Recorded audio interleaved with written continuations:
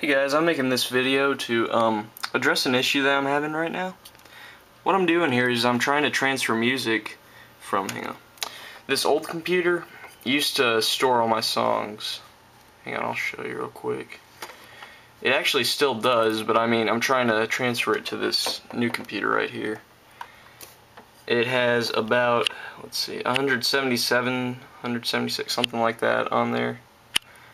But what I'm trying to do is I'm trying to transfer those songs to this computer. Now, keep in mind, this computer has already been deauthorized, so, which will explain my next problem. So I go here, I click transfer purchases, hit authorize, then, hold on one sec.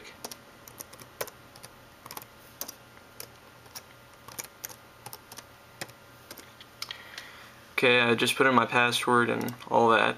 Authorize it. Uh, now it says this computer has already been authorized. Now, I'm not really sure why it would ask me to authorize it again if it had already been authorized, but okay. And here's the problem right here. It says some of the uh, purchase items on the iPod uh, cannot be transferred to your iTunes library.